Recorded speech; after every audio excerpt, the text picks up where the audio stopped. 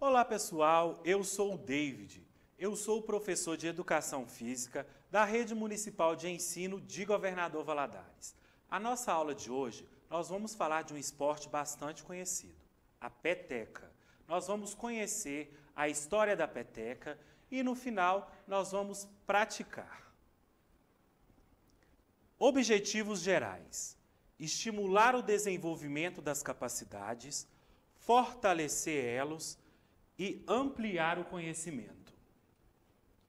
Recursos utilizados: sacola plástica, jornal ou revista e uma tesoura. Esses recursos serão utilizados para a construção da nossa peteca. A história da peteca. Quando e onde surgiu a peteca? Não se sabe exatamente quando a peteca surgiu, mas sabe-se que desde antes do descobrimento do Brasil já era praticada pelos índios brasileiros, sendo inventada aqui mesmo no Brasil. Naquela época, ela era utilizada pelos índios como atividade esportiva para ganho de aquecimento corporal durante o inverno e também como um instrumento de recreação.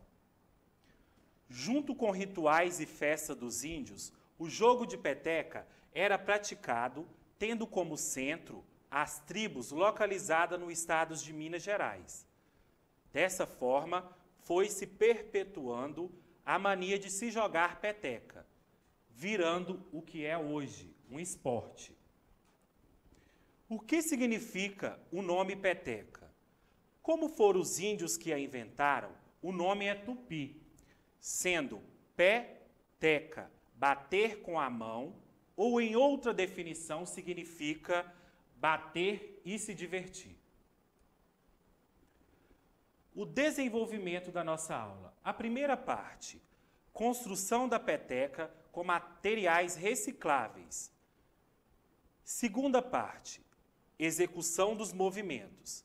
A peteca é jogada com as mãos, podendo ser com a direita ou a esquerda. Joga-se com a palma da mão, batendo na parte debaixo da peteca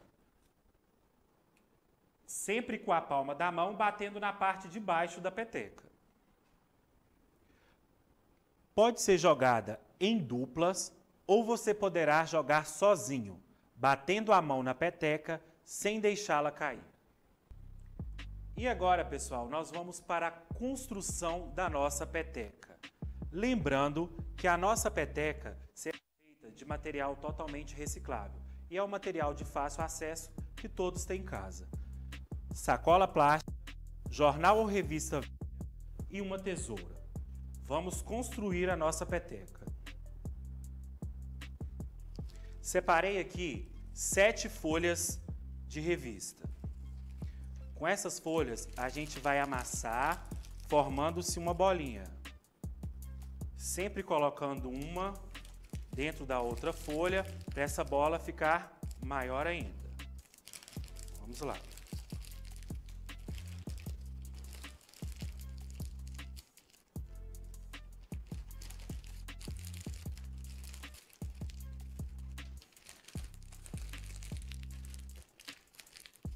Pronto. Amasse bem. Agora vamos separar essa bolinha aqui do lado. Agora é a parte da sacola plástica. Com a tesoura nós vamos retirar as alças da sacola.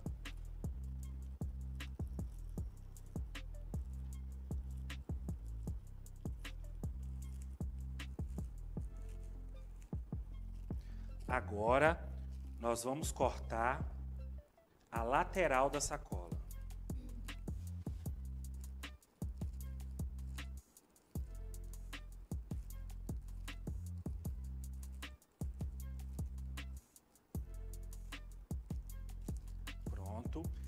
E para finalizar a parte da sacola, nós vamos cortar o fundo.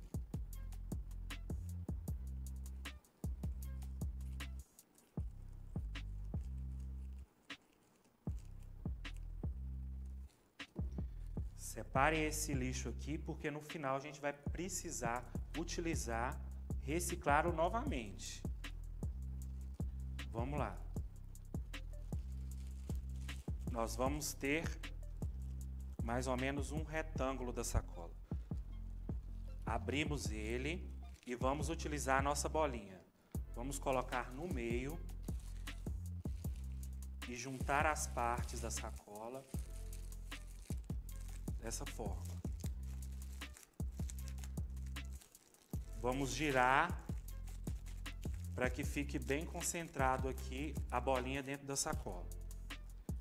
Vamos pegar aquela parte da alça da sacola para a gente poder amarrar a nossa peteca. Você pode dar um nó bem firme para que não solte. Essas pontas que sobraram a gente vai cortar para dar um design melhor para a nossa peteca.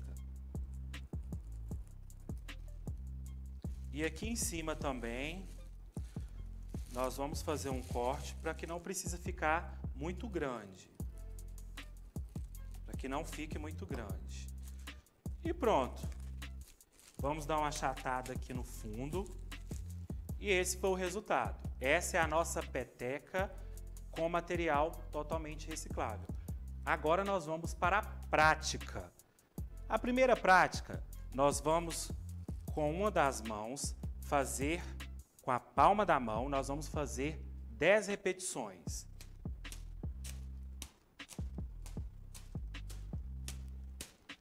Dez. Agora a gente vai trocar de mão.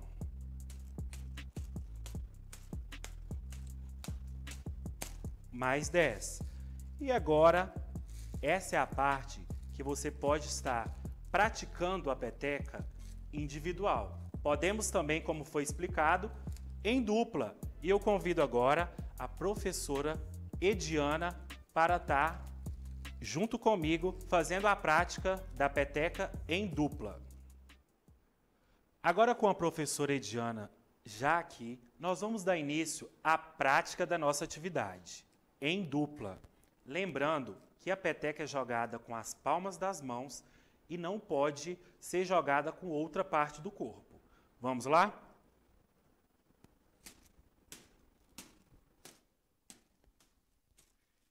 E é isso aí, pessoal. Essa foi a nossa aula de hoje. Nós aprendemos um pouco mais sobre a peteca, construímos uma peteca com material reciclável. Espero que tenham gostado. Para essas e outras atividades, é só você acessar a plataforma de educação continuada da SMED GV. E para facilitar ainda mais, basta apontar a câmera do seu celular na imagem que aparece no canto do seu vídeo. Essa foi a aula de hoje, espero que tenham gostado. Até a próxima, tchau, tchau.